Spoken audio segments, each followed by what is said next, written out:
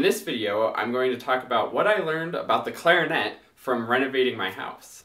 My name is Josh Gu, and after years of studying the clarinet with some of the best teachers from around the world, I am excited to be sharing my knowledge with you. So go to quickstartclarinet.com or check the description on this video to see all of the wonderful resources I have to help you reach your clarinet dreams. And of course, subscribe to this channel for weekly clarinet and music tips and tricks. If you've been keeping up with my content and my videos, you're probably aware that I recently bought a house and had to do a couple renovations on it or wanted to get some stuff done before we moved in. And now I am finally moved in. This is my new sort of recording area. Um, it's not fully set up, don't worry. The uh, music note blanket is still a thing and, and I'm gonna get it hung up on this wall behind me. Um, but I wanna get it started right away with some back to almost normal uh, quick start clarinet content for you. This one's kind of a fun video um, and I wanted to share some of the things that I was noticing as I was doing some of the renovations and how that actually applies to playing the clarinet and being a musician. Um, I also wanted to share some of the renovations um, just for friends and family to maybe be able to see, um, and also if you're interested to see why my videos have been a little bit shorter uh, this past month. But congratulations to everybody who has kept up with the challenge.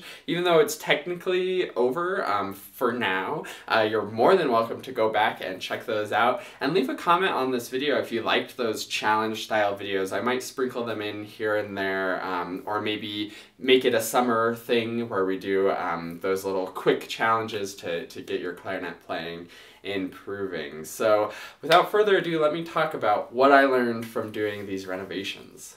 So the things that I actually did, um, my wife helped me too, so what we did was uh, more or less redo the kitchen, painted the cabinets, uh, painted the countertop, which was kind of cool, and did some of the like simple stick-on vinyl flooring. And then I also did a bathroom slash laundry room where I put in the like click together vinyl flooring, painted. We did so much painting. Uh, you'll see in the before and after we still have to do some baseboards, but um, I also did some plumbing, replaced a toilet flange, a, a sink, all of that fun stuff. And the thing that I learned that I think is relevant to clarinet playing is is that it's never as easy as it looks. Uh, throughout this process, um, I was learning lots of new things and watching tons of YouTube videos on how to do the floors, the plumbing, uh, all of that fun stuff. Um, I even watched like a 45 minute video on painting and in the painting, or in the, the videos, the professionals always make it look so easy and there's a couple of reasons why. And I think that's a hundred percent true if you're watching a professional orchestra playing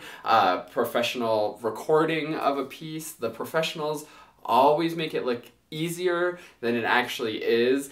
And when you're watching a video or even a performance a lot of the really tedious hard work is left out so for example, in the renovation videos, um, they almost never show the cleanup, which is a big pain and, and difficult part of the process. Um, and they usually speed things up so it looks like it's much easier and faster than it is. I think the same thing is true when you're listening to a clarinet recording. You don't see or hear the hours and hours of practicing that went into that. Uh, and they get rid of all of the extra junk, especially if it's a CD recording or a professional recording like that. When you're seeing a live performance, it's a little different, but when it's a recording, they have the opportunity to redo takes, do it multiple times, splice things together. So it's always comes out a little bit nicer and, and gets rid of the, the stuff that is not as appealing and as enjoyable. So the next time that you're in your practice room and you're just working away at some technically challenging bit or you can't get a certain interval to work right or just none of your reeds are, are working for the day, uh, trust that professionals go through that as well. Um, you just never see it in the final performance or the recordings that you see of the, the professionals playing, but they struggle through it just as much as you do, and nothing is as easy as it looks.